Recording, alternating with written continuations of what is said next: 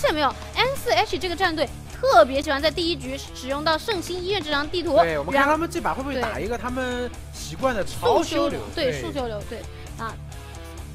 前锋先知啊，因为搬搬掉了机机械，搬掉机械，那放出了小米的前锋。小米的前锋在之前的比赛当中我们也是见到过的，他的这个再加上囚徒，囚徒。在开局的时候被在大门旁边的那个位置被拦下来之后，选了个祭司，哎，终于。我觉得小黄要有研究过，他看了一下，你们把把超修，不可能给你玩超修。对，我把机械师给搬了。因为他觉得机械师反而还是一个点，因为他还能用娃娃修，所以他是选择放出囚徒。但是呢，N 四 H 放的也是转的很快，脑子转的很快。是的，是的。啊，有自己的一个体系在这个医院，所以我才有这个。胆子在第一局我掏出这个医院跟你去进行博弈。对，但是小凡他这里的话，这套阵容打女巫比较累啊，他是选择打小提琴了。对。啊，刚刚他们其实他们其实都是朋友，小黄鸭跟这个梦宝说梦都是朋友啊。那相信他们在这个小提琴上肯定有一定的自己一个沟通啊。小黄鸭其实也是有压力的，因为毕竟的话，洛轩是自己的朋友，刚刚你打这么漂亮的一个小提琴，我也得打回来，我也得打得漂亮，对吧？这个作为朋友来说呢，大家是一个友好的沟通，但在比赛上大家也是竞争对手。但是我觉得，嗯，这套阵容这张地图小评价不好打，嗯。就是光从两边的阵容来看的话，我觉得求生者有更大的赢面。嗯，就是人家保平能不能保？能保，能不能赢？还还难说。除非他就是像刚才说梦那样上来秒拿弦的那种。嗯，现在看一下他们的天赋点上带的是什么天赋点？对，刚刚说梦那个天赋也是真的拼，就是在我面前没有开门战。对，那么看到的监管者的话，直接往医院走。医院走的话是个祭司，不太好追啊。是的。他在祭开局追祭司的话，能给他绕晕。这边带的是底牌挽留，然后是狂暴、愤怒、点抗性，再加上一个困兽之斗啊，就是因为他要穿祭司的洞，所以困兽之斗配上一点那个愤怒还是非常不错的，再加上还能扛前锋的球。是。去是转去圣女像，圣女像看了一圈医生的医院的祭司真的是没办法处理，找到了这里应该是全场最香的先知。那第二个点找到先知其实还不错了，这根弦，来控一下你的走位，一拉拉不住，但是这边的一个位置可以打一个普通的攻击。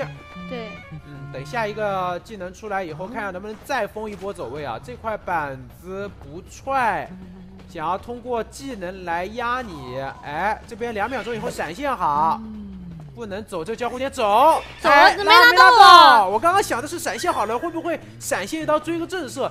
这边明也是很拼啊，这他也敢翻？因为那个地方你不吃血，你也吃，你也能吃一刀了呀。对，就是有可能闪现一刀，有可能这边就吃咸了呀。是的呀，但是他这弦拉晚了一点点，哎，直接倒了，可以还行，这个弦拉到了。对，那我们这边看一下这波抓人的一个速度，其实算是非常非常快的，而外面的三个求者都是修不太快的那种。嗯，我们注意一下，佣兵是来救第一波前锋的电机，修了将近百分之六十，还是电机不太够。这套阵容就是最怕就是先知倒，然后先知倒了以后呢，外面的队友修不太动，等到这个先知二挂被挂上的时候，可能三台机才能点掉。这样的话，等到这边先知，哎，这边直接一个先拉到了先知，虽然说无伤救，但这先知直接二挂，是下一波救完。等于说前锋这个时候差不多就要准备来救人了。前锋的电机刚才看到百分之六十，现在也就百分之七八十的样子，修不太够。哎，我们看一下这边还往前锋方向那边倒过去挂的话，应该是挂在圣女像这里。圣女像。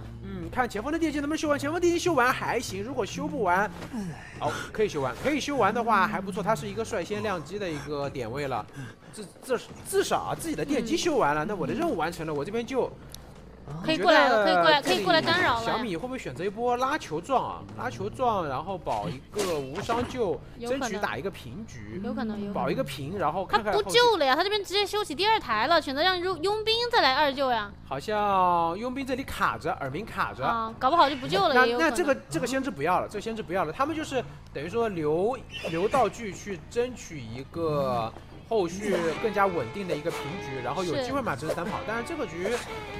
小黄鸭现在，如果说他们不救，他还真的作为一个防守型屠夫，蛮难去打开场面的。没错，因为佣兵这边三个护臂，这边吃了两个底 buff。对，你怎么走呢？你弹个护臂弹到前面的板子能下块板，哎，再跟你拖一拖。这里护臂的 CD 好了，绕一圈以后可以再弹一次，但是他最好是等到，刚想说最好等他技能交出来啊。嗯。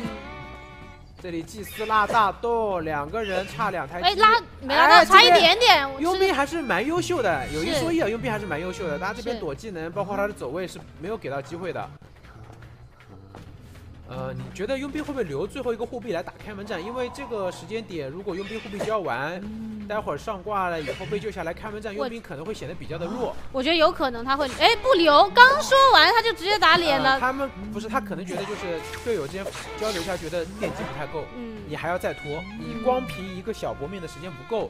我至少要保证这两台电机有一台开了，那么我可以让剩下的一个人来救你，然后一个人压另外一台机。如果两台电机都不够，你这边护臂不交，我直接打了。但是小凡这边击倒佣兵以后，他也是觉得，直接传了。如果说这里去挂佣兵，你这边电机两台点开，我可能最多面临的最最多最多就是开门战的时候有机会争一个三抓，但是想要压住场面已经没有机会了。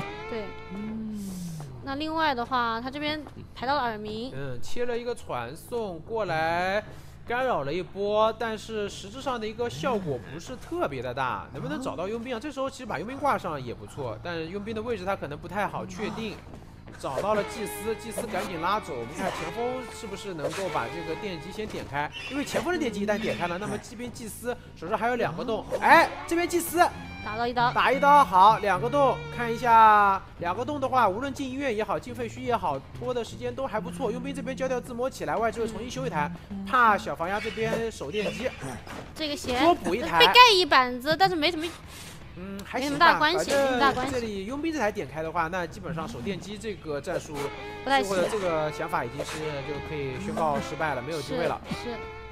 那这边祭司流动，准备打开门战。前锋手上还有搏命的。拉前，哎，没拉到。哎，对，这里前锋有球有搏命，开门战还真不好说。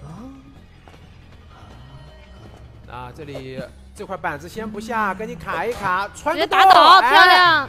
等于送到自己脸上了呀！对，佣兵的电机应该是差了没多少，估计十秒左右能能开，百分之十不到了已经。啊，前锋可以选择一波比较求稳的撞救，这样的话不会给到任何的机会。对，撞救撞救的话就自己保证一个满血，然后祭司还可以进医院有搏命。这里小黄鸭想要通过技能击倒，那祭司这边电机直接点亮，穿一个洞走，这个洞还被打掉了，跟过去前面有一个窗，还是上二楼翻窗。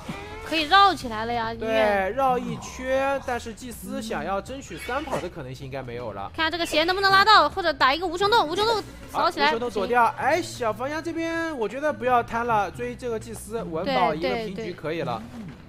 没办法，因为这个局，呃，求生者确实很优秀啊，用兵起来以后直接重修一台。对对。那你守电机也守不成了。太果断了，太。